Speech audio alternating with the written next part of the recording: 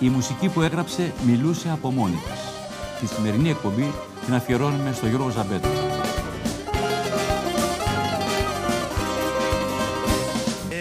Έφυγες και κλαίν τα νυχτοπουλιά Στάλα στάλα πέφτουνε τα δάκρυα βροχή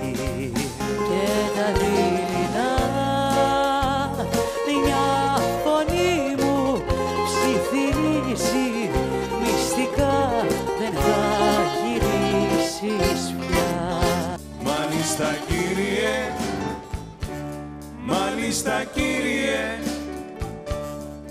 μες στο χρόνο.